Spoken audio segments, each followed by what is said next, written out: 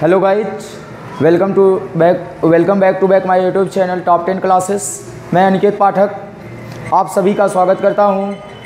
और जैसा कि फिज़िक्स के क्रैश कोर्स को स्टार्ट हो गया है, और पहले क्लास में हम लोगों ने हर एक चैप्टर से रिलेटेड कितने नंबर मिलते हैं, कितने अंक आपको मिलते हैं, उनके बारे में बता दिए थे। और इसके पहले लेक्चर में ही हमने विद्युत आवेश के बारे में पढ़ लिए थे।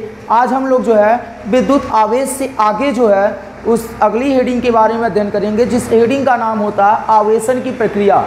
यानी किसी भी चालक पर आवेश कैसे उत्पन्न किया जाता है या किसी भी पदार्थ पर आवेश को उत्पन्न करने की विधि क्या होती है, वो हम लोग ज्ञात करेंगे। तो हमारा आज का टॉपिक है आवेशन की प्रक्रिया, आवेशन की प्रक्रिया।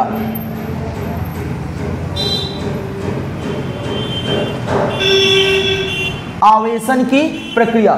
सबसे पहले हम जानते हैं कि यहाँ जानने का ये प्रयास करते हैं कि आवेशन क्या होता है। तो ध्यान से समझिएगा भैया, आवेशन क्या होता है कि जैसे किसी भी पदार्थ पर आवेश उत्पन्न करना ही आवेशन कहलाता है। जैसे हमने कहा कि ये कोई हमने पदार्थ ले लिया और इस पदार्थ पर अगर आवेश उत्पन्न कर दिया जाए, आवेश उत्पन्न करने की जो प्रक्रिया होगी, वो आवेशन की प्रक्रिया कहलाएगी और इस चालक पर अगर हम लोग आवेश उत्पन्न कर देते हैं तो ये क्या कहलाता है? आवेशन कहलाता है। तो हम चाहे तो लिख सकते हैं, इसमें आवेशन क्या होता है? आवेशन होता है किसी चालक पर आवेश उत्पन्न करना ही आवेशन कहलाता है। आवेशन की प्रक्रिया तीन प्रकार से की जाती है। सबसे पहली प्रक्रिया होती है चालन विधि। क्या होती है? चालन विधि। यानी हम किसी भी चालक पर किसी भी पदार्थ पर आवेश उत्पन्न करने के तीन विधियाँ हैं। सबसे पहली विधि होती है चालन विधि और दूसरी क्या होती है? दूसरी होती है प्रेरण विधि। कौन सी विधि होती है? प्रेरण विधि और तीसरी होती है घर्षण विधि। कौन सी विधि होती है? घर्षण विधि। हमने क्या आपको बताया कि किसी भी पदार्थ पर, किसी भी चालक पर आवेश उत्पन्न करने की तीन विधियाँ हैं। सबसे पहली विधि चालन विधि, दूसरी विधि होती है प्रेरण विधि, तीसरी होती है घर्षण विधि। आइए हम लोग जानते हैं कि चालन विधि क्या होती है और चालन विधि के दौरान किसी भी चालक पर, किसी भी पदार्थ पर आवेश कैसे उत्पन्न करते हैं। तो चलिए हम लोग चालन विधि के बारे में समझते हैं। इसमें क्या होता है कि इस प्रकार की विधि में चालन विधि में क्या होता है? इस प्रकार की विधि में किसी धनावेशित वस्तु को, किसी धनावेशित चालक को, किसी धनावेशित पदार्थ को किसी ऐसे चालक के पास रख देते हैं जिसके पास आवेश नहीं रहते, अर्थात वो उदासीन रहता है। कैसे? हमने कहा कि किसी भी, ये मान लेते हैं, किसी आवेशित चालक को, किसी आवेशित चालक को किसी उदासीन चालक के पास, किसी उदासीन चालक के पास रख दिया जाए। ये मान लीजिएगा, ये पूर्ण रूप से धनावेश था। ठीक? हमने क्या बताया कि यदि किसी आवेशित चालक आवेशित चालक, इधर लिखते हैं, और ये आपका क्या है? अनावेशित। क्या है? अनावेशित। ध्यान समझिएगा। जब किसी आवेशित चालक को अनावेशित चालक के पास रख दिए जाते हैं तो इसके जो, इसकी इसकी जो प्रकृति होती है, इस पर धनात्मक आवेश है तो ये धनात्मक आवेश इस चालक पर आ जाते हैं, इस अनावेशित पदार्थ पर आ जाते हैं तो इस प्रकार की प्रक्रिया या इस पदार्थ पे आवेश उत्पन्न करने की यह प्रक्रिया कौन सी प्रक्रिया कहलाती है? चालन प्रक्रिया कहलाती है। जैसे एक एग्ज़ाम्पल हम लोग और समझते हैं। जैसे हमने क्या कहा कि हम कोई पदार्थ लेते हैं, क्या करते हैं? कोई एक पदार्थ लेते हैं, जिस पे हमने कह दिया कि ये कोई ऐसा पदार्थ है जिस पे क्या था धनावेश थे, ये क्या थे? पूर्ण रूप से धनावेश थे। अब इसके संपर्क में हम लोगों ने क्या रख दिया? इसके संपर्क में एक क्या रख दिए? अनावेशित पदार्थ रख दिए। एक क्या रख दिए भैया? अनावेशित पदार्थ रख दिए। चलिए, एक अनावेशित पदार्थ रख दिए। और ये आपके क्या हो गए? आवेशित पदार्थ हो गए। जब हम किसी आवेशित पदार्थ को अनावेशित पदार्थ के संपर्क में लाते हैं, जैसे ये आपका अनावेशित हो गया, ये आपका आवेशित हो गया तो आवेशित वस्तु को जब अनावेशित वस्तु के संपर्क में लाएँगे तो इसके जितने गुण हैं, इसके जितनी प्रकृति है, इस आवेशित पदार्थ का जो भी प्रकृति है, इस अनावेशित पदार्थ पे आ जाते हैं। यही प्रक्रिया आवेशन की आवेशन की चालन प्रक्रिया कहलाती है। तो हम चाहे लिखना चाहें तो हम लिख सकते हैं कि जब किसी, क्या लिखेंगे? आवेश चालन विधि क्या होती है? जब इस प्रकार की विधि में, इस प्रकार की विधि में किसी आवेशित वस्तु को, किसी आवेशित वस्तु को अनावेशित अनावेशित वस्तु के संपर्क में रखकर, के संपर्क में रखकर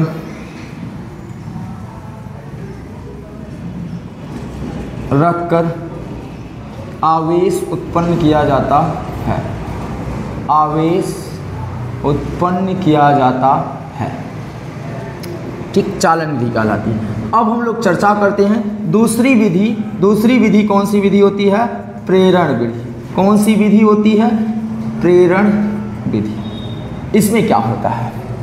आइए, हम लोग एक चित्र के माध्यम से, एक उदाहरण के माध्यम से प्रेरण विधि के बारे में जानते हैं। हम लोग क्या करते हैं? एक उदासीन चालक ले लेते हैं। क्या ले लेते हैं? एक उदासीन चालक ले लेते हैं। मान लीजिएगा ये कोई उदासीन चालक हो गए, ए, और ए कोई एक उदासीन चालक और हो गए, बी हो गए, ठीक? ये ये कोई ए हो गए, ये क्या हो गए, कोई बी हो गए। अब जब हम लोग जो है किसी आवेशित चालक को, किसी आवेशित चालक को उदासीन चालक के संपर्क में रखते हैं या उदासीन चालक से स्पर्श कराते हैं, अब देखिएगा क्या होता है कि ये क्या है आपका आवेशित चालक है। क्या है भैया? आवेशित चालक है। इस प्रकार के विधि में आवेशित चालक को उदासीन चालक के स्पर्श कराया जाता है, उदासीन चालक के संपर्क में लाया जाता है। अब उदासीन क्या होता है? यानी इनमें प्लस और माइनस प्लस और माइनस चार्ज की संख्या इक्वल है।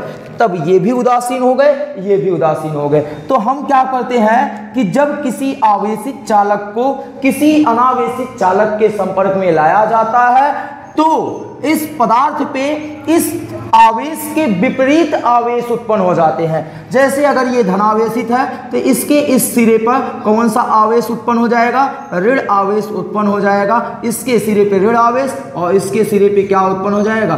धन आवेश उत्पन्न हो जाते हैं। क्या हमने बताया कि इस प्रकार के विधि में आवेशित चालक को किसी अनावेशित यानी उदासीन चालक के संपर्क में लाया जाता है तो उदासीन चालक के सिरों पर विपरीत चार्ज प्राप्त हो जाते हैं, विपरीत प्रकृति के आवेश उत्पन्न हो जाते हैं तो यह विधियाँ कौन सी विधियाँ कहलाती है?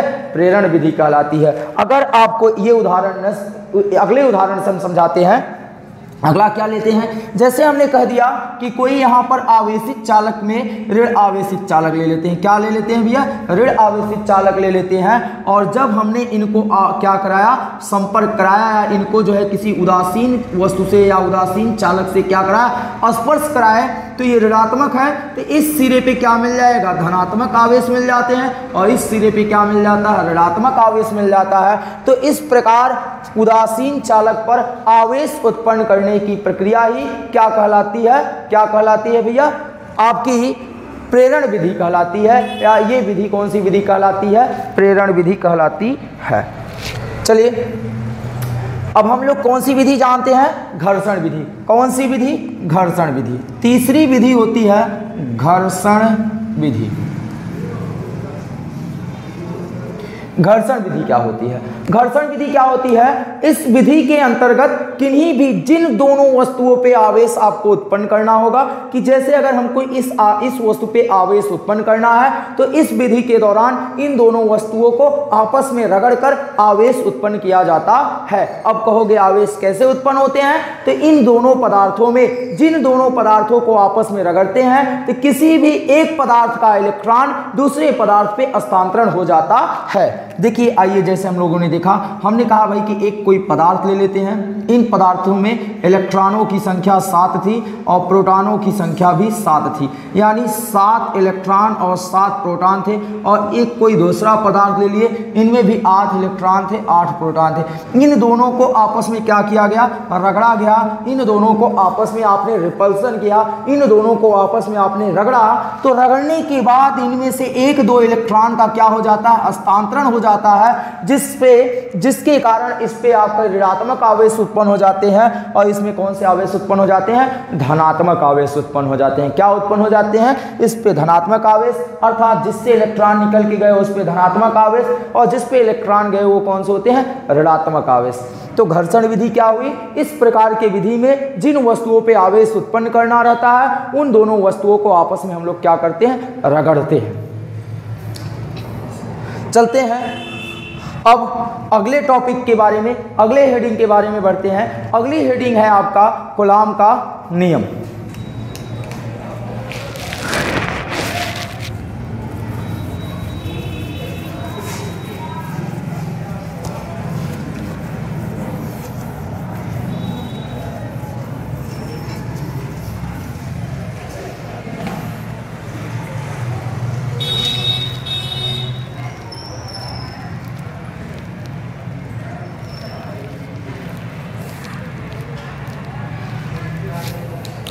चलिए, अब हम लोग जो है इसी चैप इसी क्रम में अगली हेडिंग है गुलाम का नियम, गुलाम का नियम। गुलाम का नियम। अब गुलाम का नियम क्या होता है? गुलाम का नियम जो है आपने कक्षा 11 में जो है, न्यूटन के न्यूटन के या गुरुत्वाकर्षण का सार्वत्रिक नियम आप लोगों ने पढ़ा होगा, उसी नियम से मिलता जुलता होता है। गुरुत्वाकर्षण का सार्वत्रिक नियम क्या होता है? आपने पढ़ा होगा, चलिए दोनों को समझाते हैं गुलाम के नियम को भी समझाते हैं और गुरुत्वाकर्षण के सार्वत्रिक नियम को भी बताते हैं। तो सबसे पहले गुरुत्वाकर्षण गुरुत्वाकर्षण का नियम। आपने क्या पढ़ा था? कि गुरुत्वाकर्षण का नियम क्या था? कि ब्रह्मांड में स्थित किन्हीं भी दो पिंड, ब्रह्मांड में स्थित किन्हीं भी दो पिंड, जिनके द्रव्यमान हम मान लेते हैं, यमोन और क्या था? एम टू था, और इनके बीच की दूरी क्या थी? आर थी। ब्रह्मांड में स्थित किन्हीं दो पिंडों के बीच लगने वाला जो बल था, लगने वाला जो आकर्षण बल था, यफ। आकर्षण बल एफ़। उन्होंने बताया, उन्होंने क्या बताया कि जो लगने वाला बल है, इन दोनों द्रव्यमानों के गुणनफल के अनुक्रमानुपाती होता है, अर्थात यह प्रोपोर्शनल क्या होता है? यम वन यम टू सन ये हो गए। हमने क्या बताया? कि आपको बताया गया होगा कि किन्हीं दो पिंडों के बीच लगने वाला बल जो एफ़ होता है, इन दोनों पिंडों के द्रव्यमानों के गुणनफल के अनुक्रमानुपाती होता है तथा बीच की दूरी के वर्ग के क्या होता है? व्युत्क्रमानुपाती होता है। अर्थात एफ़ प्रोपोर्शनल क्या होता है? वन अपान आर स्क्वायर समीकरण नंबर क्या बना लिए? दो बना लिए।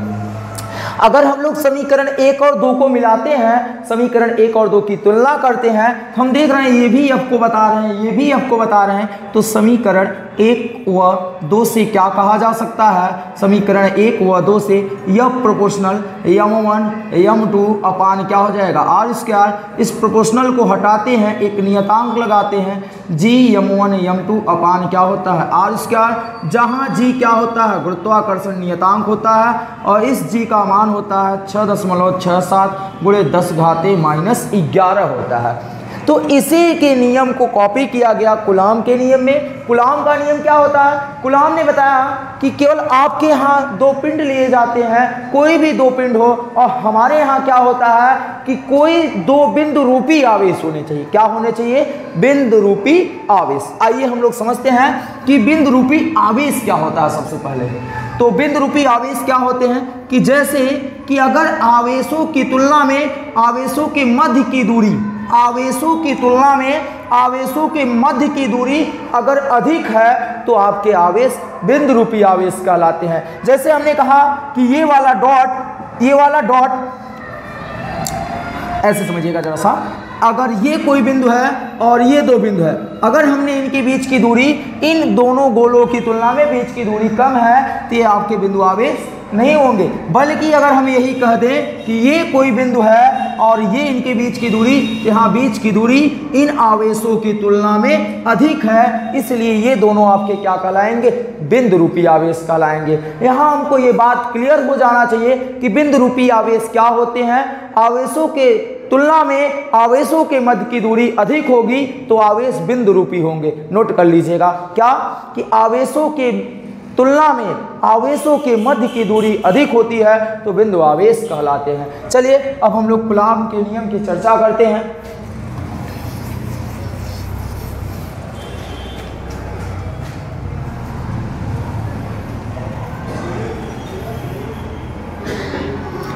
ठीक, गुलाम ने क्या बताया? किन्हीं दो बिंदु आवेश? तो बिंदु आवेश एक Q1 हो गया, एक क्या हो गया? Q2 हो गया।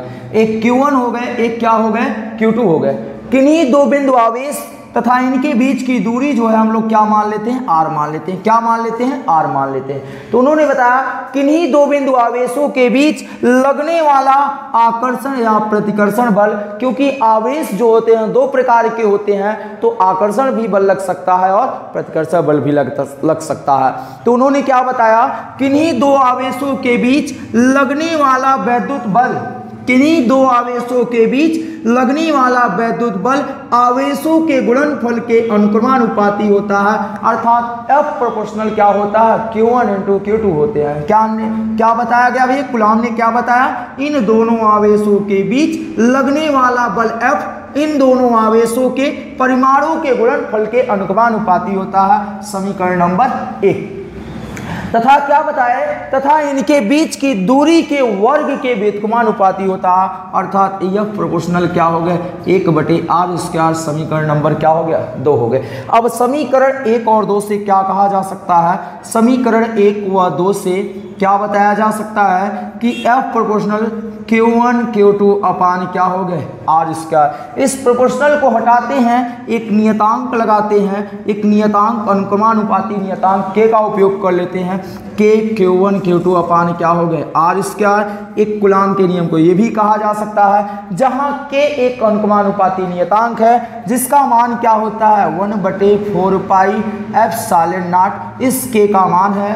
Q1 Q2 अपान क्या होता है? आर स्क्वायर अगर हम लोग यहाँ से चाहें तो के का भी मान निकाल सकते हैं और एफ़ साले नाट आपका क्या है? यहाँ एफ़ साले नाट आपकी निर्वात की विद्युतशीलता होती है। तो चलिए हम लोग जो है, यहाँ जहाँ जहाँ के बराबर क्या है? वन बटे फोर पाई एफ़ साले नाट है, जिसका गणती मान होता है नौ गुणे दस घाते नौ।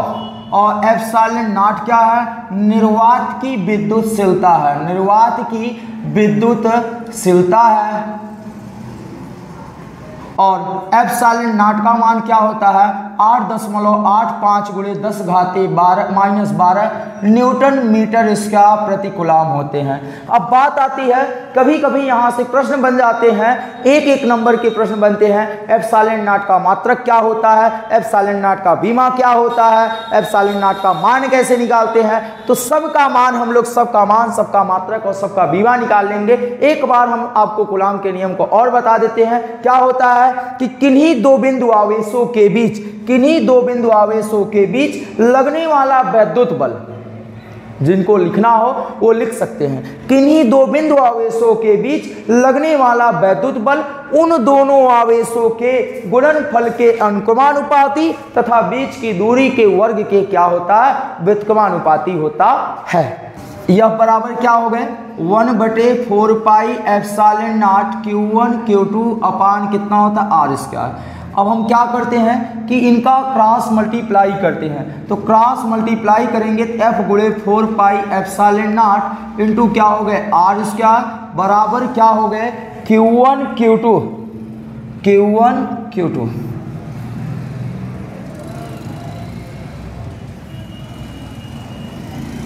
Q one into q हो गए। अब हम क्या करते हैं? एफ़ नाट का मान चाहिए तो सबको इधर भेज देंगे। सबको इधर मास्टर आ रहा है मास्टर का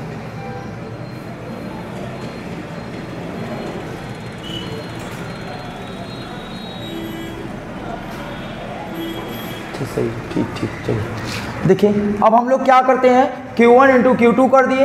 अब यहाँ से हमको एफसालिन नाट का मात्रक चाहिए। तो एफसालिन नाट का मात्रक क्या हो जाएगा? कि एफसालिन नाट बराबर Q1 Q2 हो गए, अपान क्या हो गए? यफ इंटू क्या हो जाएगा? आर स्क्वायर जहाँ फोर पाई का कोई मात्रक नहीं होगा। तो Q1 का मात्रक क्या होता है? गुलाम इसका भी गुलाम यफ का मात्रक क्या होता है? न्यूटन। बल है। आर क्या है भैया? मीटर स्क्वायर हो जाएगा। अब गुलाम का स्क्वायर प्रति न्यूटन मीटर स्क्वायर ये एफसालिन नाट का मात्रक होता है। अगर इससे पिछले वाले में हमने जो एफसालिन नाट का मात्रक निकाला था, वो हो सकता है ज़रा सा गलती हो गई होगी। न्यूटन मीटर स्क्वायर प्रति गुलाम स्क्वायर लिखा गया होगा। उसको ध्यान दीजिएगा गुलाम स्क्वायर प्रति न्यूटन मीटर स्क्वायर होते हैं। ये आपके मान हो गए। अगर आपको एफसालिन नाट का गणितीय मान निकालना है तो हम यहाँ सबके मान रख सकते हैं, वो भी निकाले जा सकते हैं। आइए देखते हैं।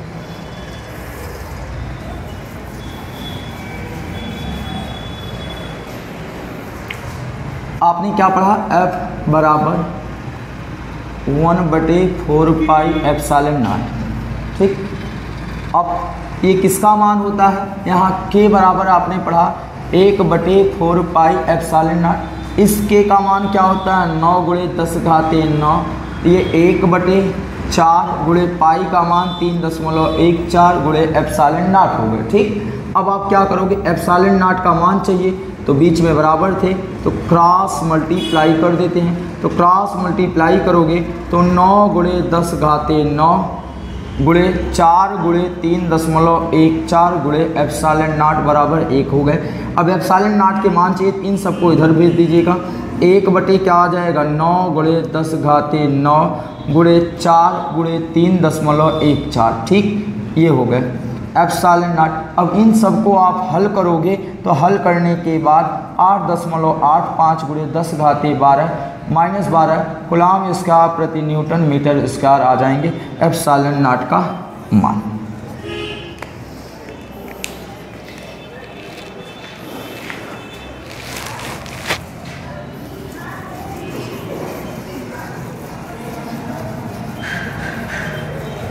चलिए। अब आप लोगों ने गुलाम के नियम पढ़ लिए। गुलाम के नियम क्या है? यह बराबर एक बटे four pi epsilon naught q one q two upon r square आए। अब हम लोग इस पे आधार पर, इसी आधार पे बोर्ड के पेपर में पूछे गए कुछ न्यूमेरिकल हैं, उनको सॉल्व कर लेते हैं। सबसे पहला न्यूमेरिकल है दो बिंदुवत आवेश। दो बिंदुवत बिंदुवत आवेश प्लस दो गुलाम तथा छः गुलाम है। क्या हमने कहा भाई कि दो बिंदुवत आवेश दो बिंदुवत आवेश प्लस दो गुलाम तथा प्लस छः गुलाम है। ठीक? उसके बाद क्या कर रहे हैं? एक दूसरे से, एक दूसरे से, एक दूसरे से चार सेंटीमीटर की दूरी पर है। चार सेंटीमीटर की दूरी पर है। तो उनके मध्य लगने वाले, उनके मध्य लगने वाले विद्युत बल की गणना कीजिए। विद्युत बल की गणना कीजिए। चलिए, आइए। हम लोग गुलाम के नियम का उपयोग करते हैं। यहाँ देखिएगा कि Q1 वन इक्वल टू कितना दिया गया? दो गुलाम और Q2 टू इक्वल टू कितना दिया गया? छः गुलाम।